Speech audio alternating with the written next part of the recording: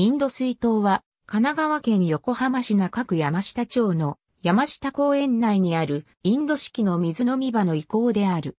横浜市認定歴史的建造物に認定されている。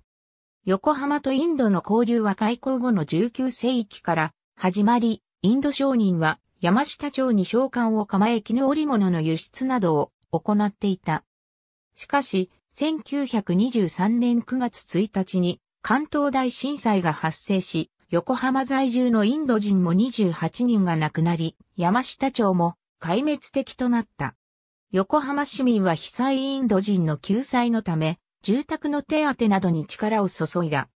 1930年に瓦礫処分場として埋め立てられた場所の上に山下公園が開園。そして1939年に横浜市民への感謝と同胞の慰霊のために在日インド人協会が山下公園内に建立し、横浜市に寄贈したのがこのインド水筒である。設計は鷲津正、施工は清水組。設計は横浜市の第4代目建築課長で、同巡回アパートにも携わった鷲津正であり、イスラム教の寺院モスクの中庭にあるハウズを想起させる珍しいスタイルのモニュメント。イスラム風、インド風、日本風が混在したデザインが特徴的で、東京の築地本願寺を思わせるような形であるとの表もある。横浜市認定歴史的建造物。インド水筒まで山下公園の西端に近い最寄りのバス停は大桟橋入り口。そこから徒歩2分。横浜高速鉄道港未来線日本大通り駅から徒歩8分。